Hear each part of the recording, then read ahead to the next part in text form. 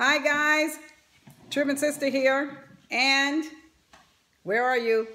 The striking Viking. So we're at the condo.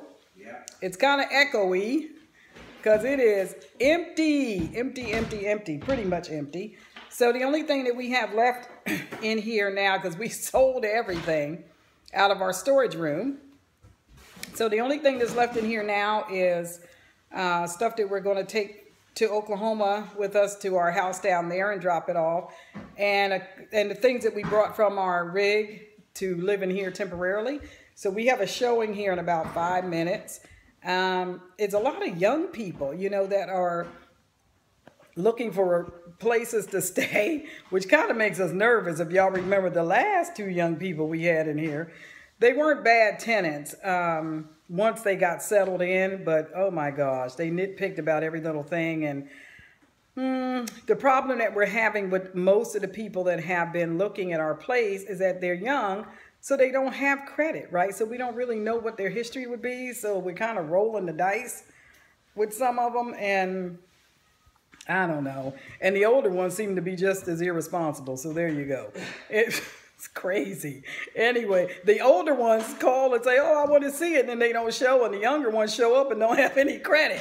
So I don't know what to do about that. But anyway, just wanted to give you guys an update. We had ordered the refrigerator um, cooling unit. It's not here yet.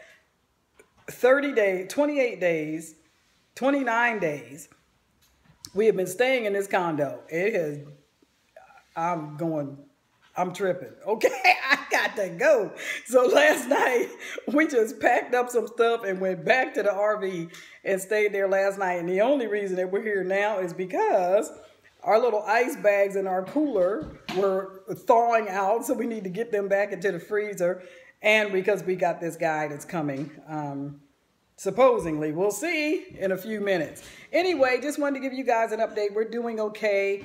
Mr. Viking's just doing some cleaning up. I just got finished uh, cleaning up the bathroom and stuff. Just typical stuff that we do before somebody's ready to walk through and take a look at it. So anyway, um, just wanted to give you guys an update on what we're doing and how we're doing.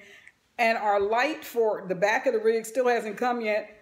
We still have the rig. They still haven't billed us. It's crazy. Anyway, we have to pay these people, but we don't have the light yet. So oh well, I guess they think they know where to find us, but that's tricky when you're in an RV. But anyway, all right, hope you guys are doing okay. And for those of you that are here in Canada, happy Canada Day. And for my U.S. friends, happy 4th of July. Happy Independence Day. We'll see you guys later. Keep chipping.